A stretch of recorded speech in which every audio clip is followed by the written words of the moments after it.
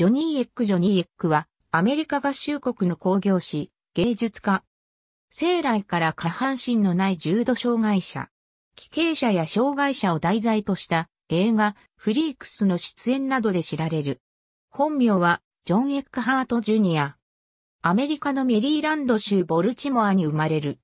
一卵性ソーセージだが兄ロバートは健常者で、弟のジョニーのみが下半身を描いていた。出生時、産婦は悲鳴を上げて失神し、助産師は、ああ、ああ、壊れた人形だ、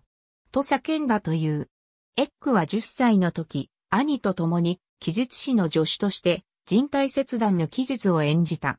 桜として観客席に紛れていた兄が、記述師に指名されて舞台に立ち、記述師は彼を箱に入れて、真っ二つに切断してみせるのだが、物体上では、兄弟が密かに入れ替わっており、エッグが切断された上半身のみの姿として腕だけで舞台上を走り去るという演出である。この舞台では観客席はパニック状態に陥り、失神して倒れる客すらいたという。後にエッグは独立して見せ物小屋を巡業する小屋主となり、自らお手玉や空中ブランコなどの曲芸を披露した。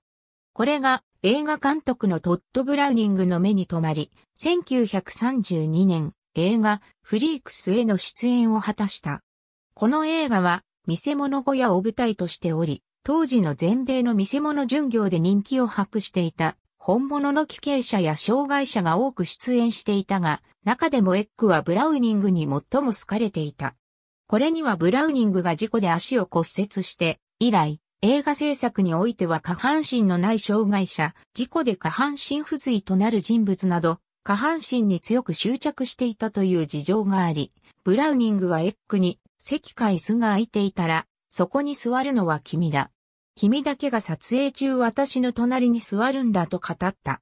こうした事情から、後年には本作に出演した多くの帰刑者が、出演を恥じたにもかかわらず、エッグのみが本作を好意的に改装していた。同年には、ジョニー・ワイズ・ミューラーの監督による映画、ルイエンジン・ターザンに出演。